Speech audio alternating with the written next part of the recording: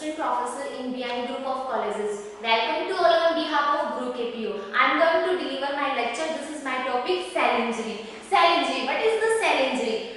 Cell injury is defined a variety of stress as cell encounter as a result of changes on its internal and external environment. So now we will see the cellular response to the cell injury. There are the th three types of the cell injury. Adaptation cell cellular injury, reversible cellular injury and irreversible cellular injury. So first one reversible cell adaptation cellular injury. Adaptation when there is increase the functional demand and uh, change uh, the cell may adapt to changes and revert back normal the stress is removed that is the adaptation cellular injury so second reversible cellular injury when the stress is mild to moderate stress and then cell may be uh, recover and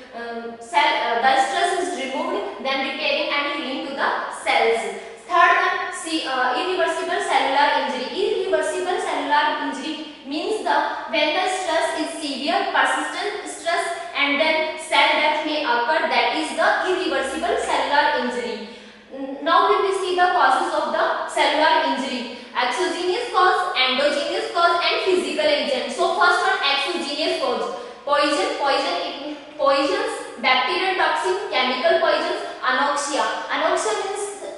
the main cause of the cellular injury it means the lack of oxygen supply. And then endogenous causes. Endogenous cause anemia and metabolic disorders such as the diabetes mellitus liver failure. Third one physical agent. Physical agent like the excessive heat and cold produced from the cells and mechanical trauma thermal trauma and electricity and radiation. Thank you thank you thank you. Log our website www.gurukpo.com